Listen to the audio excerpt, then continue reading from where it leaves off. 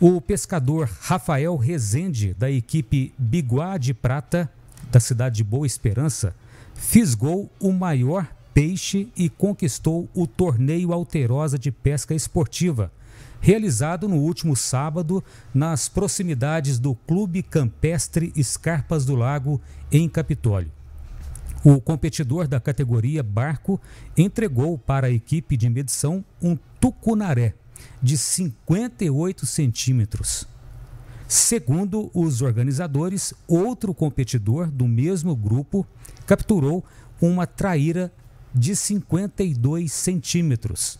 Na categoria caiaque, a equipe vencedora foi a Quebra-Anzol de Capitólio.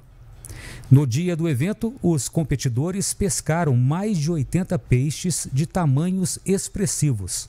Foram distribuído, distribuídos 15 mil reais em prêmios.